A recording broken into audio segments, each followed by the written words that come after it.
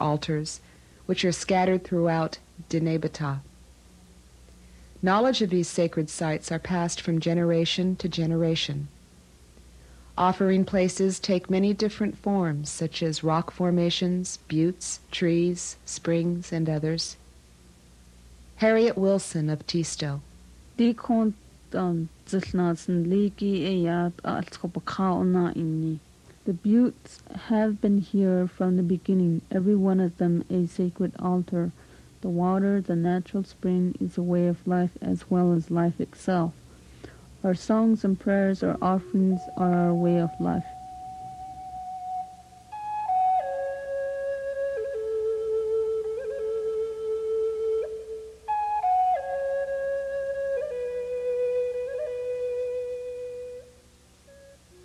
United States was founded on the principle of religious freedom. However, the Dene people are being denied this basic human right. To forcibly remove the Dene people from this sacred land is to deny them the right to practice their religion, a right guaranteed by the Free Exercise Clause of the First Amendment of the United States Constitution.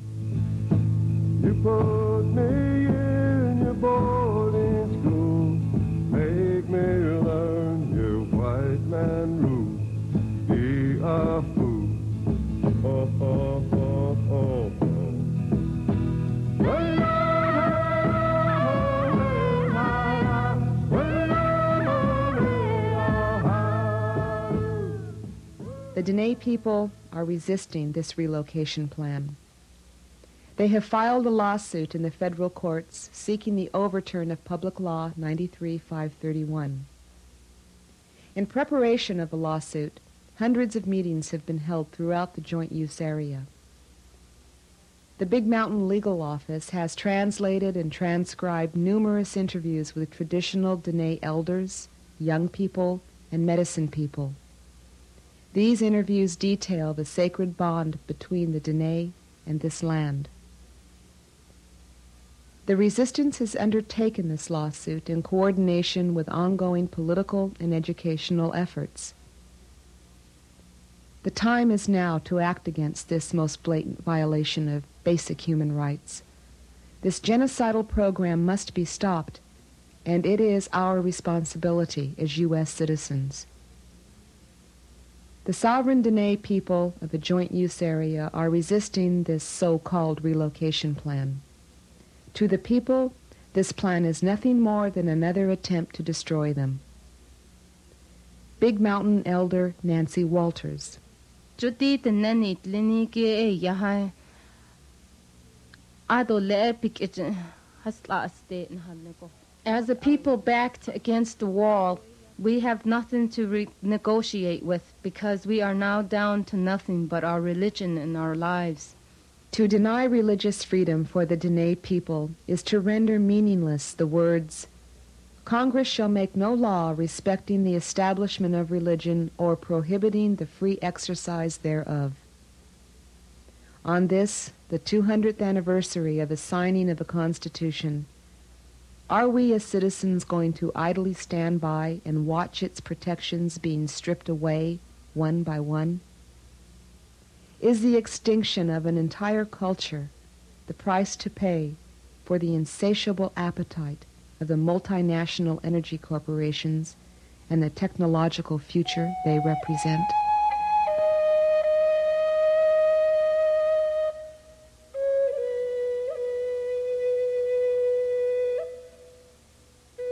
Our traditional tongue, we have no word for relocation.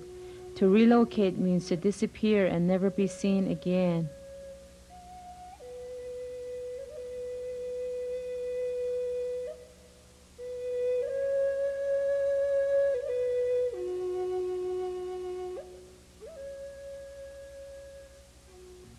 Well, Bill Miller, this is something that uh, everybody, I'm sure most people feel outraged about.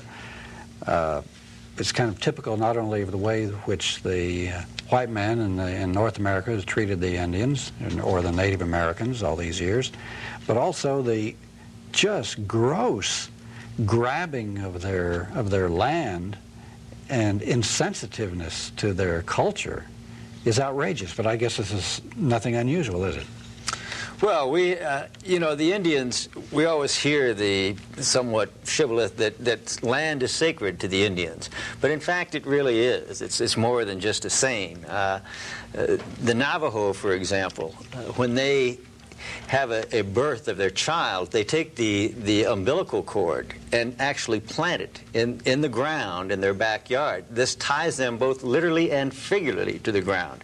And not only that, but, but of course the Navajo and the Hopi and most indigenous tribes uh, depend on the earth for their subsistence, whether it be through farming or through uh, uh, being a shepherd or something like this. So land is very, much more sacred to, to the Indians than it is, than it ever is to, uh, has been to the white men. We, of course, have nothing, no, no comparable uh, cultural practices as, as the Indians do.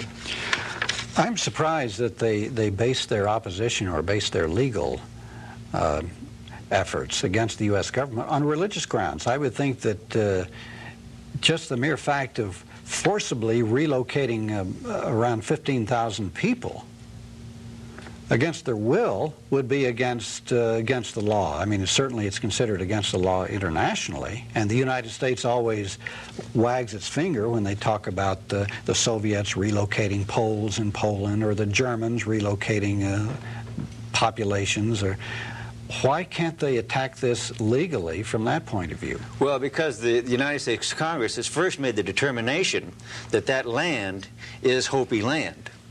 So uh, they're not really relocating someone off their, their land. They're, they're assisting the Hopi Tribal Council in getting the trespassers off their land. Uh, well, even though people have intermarried and and have been living together and among each other. Yeah, and again, it was it was it was completely a congressional uh, determination of what land belonged to which tribe. Hmm. And it, and it really did not, as you point out, have anything to do with uh, uh, the current practices, uh, land use practices uh, and cultural practices of the two tribes. Now, this dispute's been going on for many years. We've done a couple of programs on alternative views going back as far as, uh, oh, seven or eight years ago, in which they were talking about this. Why is it still bubbling? Why hasn't it, um, the, it been settled one way or the other? Well, the reason, uh, a couple of reasons, but the main reason is that, that the Navajo simply refused to leave. and, and the United States and the Hopi tribe are reluctant to use force to remove them. But the Navajos, there are at least 50 families of Navajos say that they will, they will not leave alive. And, uh, and that just would cause an escalation in violence that, that neither the United States government, the coal companies, or the Hopi tribe is, is ready to impose.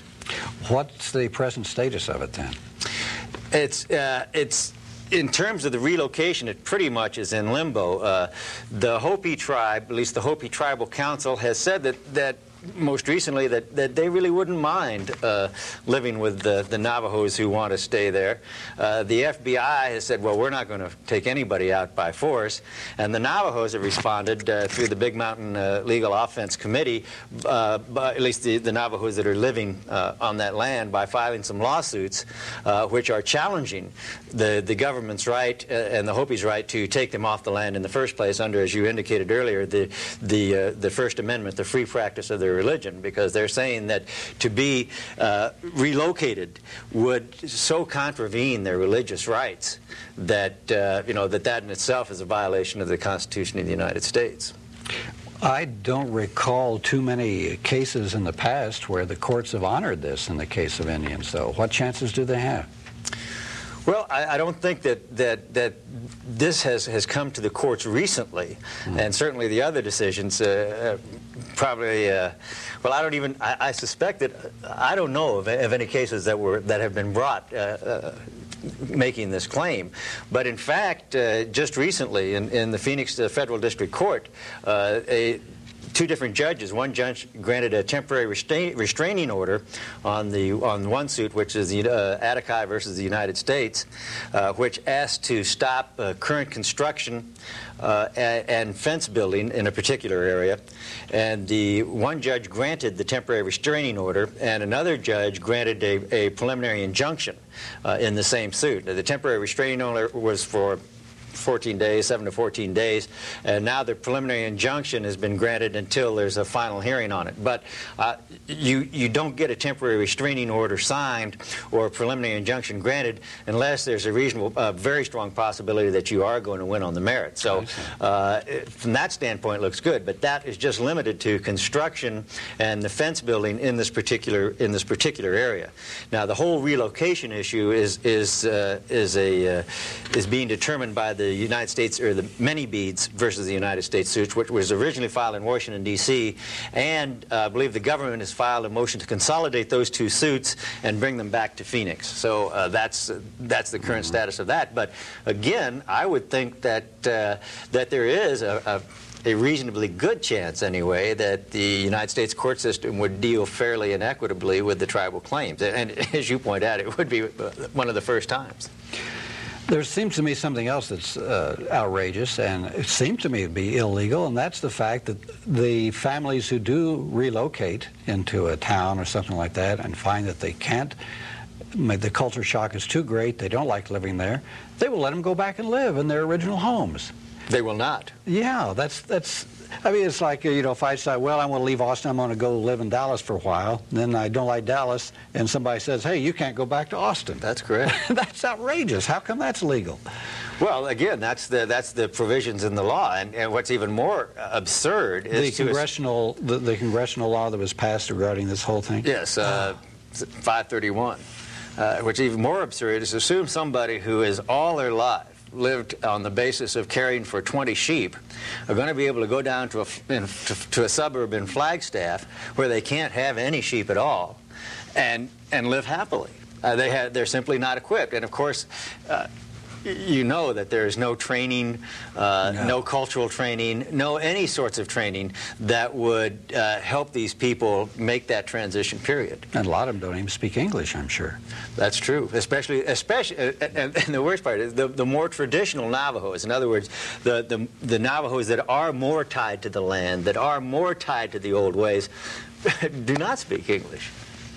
And therefore, they would be the ones who are, are much more deeply affected by this than the, than the younger and the modern uh, Navajos. Uh, well, this is just another chapter in the outrageous history of the way we've treated the American uh, Native Americans all these years. And uh, it's a, going to be a continuing thing, so if new anything new pops up on it, we'll let us know and come back and report to the people on alternative views. I'll be happy to. Thank you, Bill Miller. Thank you, Frank.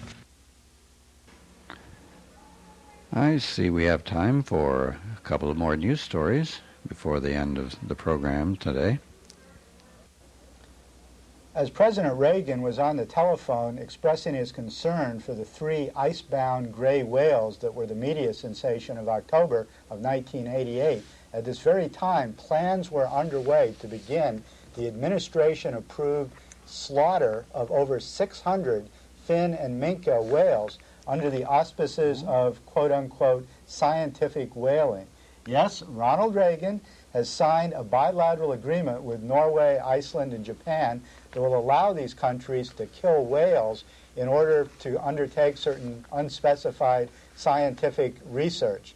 According to David Phillips, who's the director of the Earth Island Institute, that this attitude of Reagan's to express concern over three whales trapped in Alaska while the TV cameras are rolling, but allowing over 600 whales to be hunted down and brutally slaughtered while nobody's watching is simply symptomatic of the hypocrisy of the Reagan administration that Reagan himself has perfected to such a uh, art. At the same time that the media was making all this uh, fuss about these uh, three uh, whales that were captured or that were trapped in the uh, ice, they were completely neglecting the slaughter of the dolphins that has been taking place over the last uh, few years.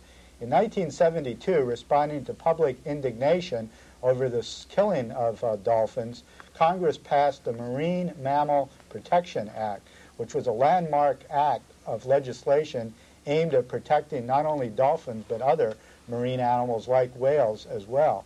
Since its passage, however, more than a million dolphins have been slaughtered by the U.S. tuna industry under congressional legislation that has weakened the intent of this original act that allows the uh, tuna companies to uh, slaughter dolphin at the same time that they are catching um, uh, tuna.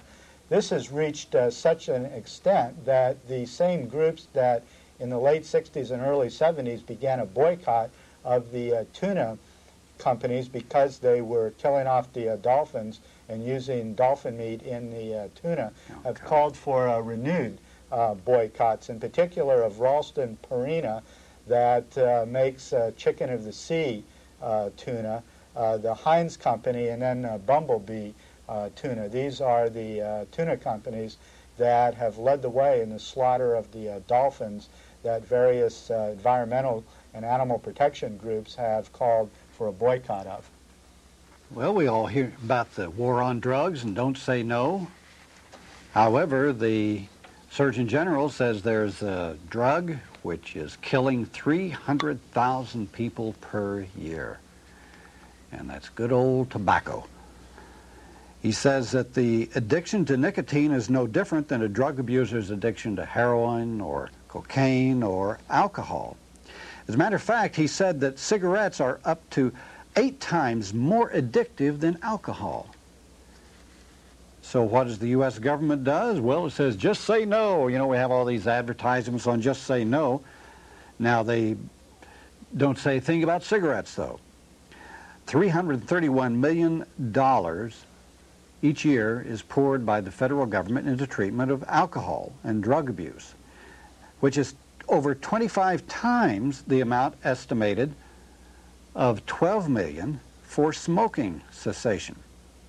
And then the flip side of this is that the government gives uh, the tobacco growers subsidies of over $270 million. At least that's what it was back in 1986. Now, even though $4 billion in Medicare and Medicaid bills are due to smoking-related illnesses, well, what's the medical establishment doing about it? Not a heck of a lot, uh, according to uh, this report, which is hmm, the Health Letter, the Public Citizen Health Research Group of November 1988, says that even doctors and hospitals have refused to smoke to uh, focus on the smoking epidemic. And a recent survey revealing that over one half of all smokers were not even advised by their physicians to quit smoking. So, however, it also says that uh, the consensus is clear that there are certain ways that are very tried and true that can be used so that people can kick the habit of nicotine. Well, who's to blame? According to the newsletter, the neglect lies in many laps. The government's caved into the tobacco industry. Medical schools don't train physicians in methods of smoking cessation. Physicians really don't know very much about these effective techniques, but they're, they, when they do use them, it helps their patients to quit. Hospitals treat tobacco-caused illnesses, but they do little to help people give up on cigarettes. so, it's a lot more fun to just say no to crack and heroin, but not to the big killer, tobacco.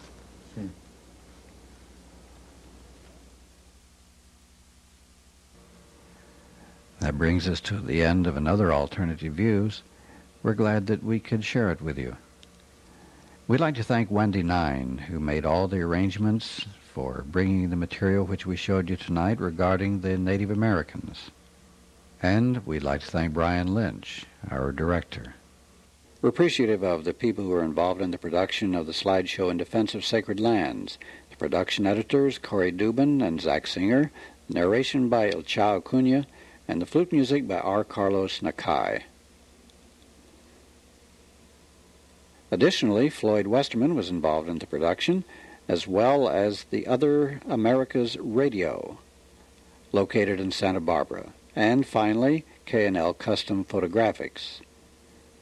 Alternative Views is a production of the Alternative Information Network, P.O. Box 7279, Austin, Texas 78713. Goodbye.